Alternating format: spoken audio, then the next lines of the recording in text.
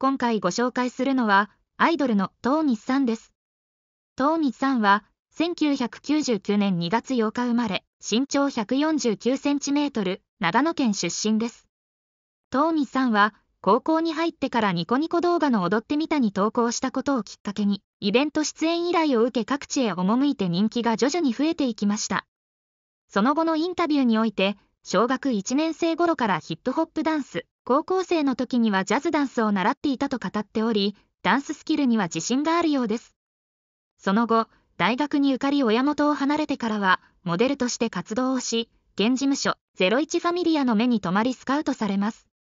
2018年7月に集英社、週刊ヤングジャンプにて初デビューします。それだけでなく、同年10月にヤングジャンプの表紙を飾ることとなります。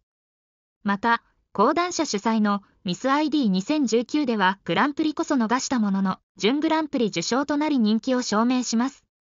2020年には写真集、ドーミニコを発売し、さらにはアイドルグループ、ニーニのメンバーとなり多方面で活動しています。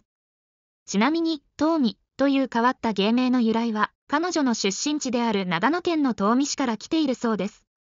母親とドライブしている時に、ようこそ、東御市へという看板が目に入って、トーミって言葉の響きが気に入り、漢字を簡略してこの芸名をつけたそうです。本名は非公開ですが、いずれ公開する時もあるかもしれませんね。ご視聴ありがとうございました。このチャンネルでは日本のグラビアアイドルを中心に紹介しています。よろしければチャンネル登録をお願いいたします。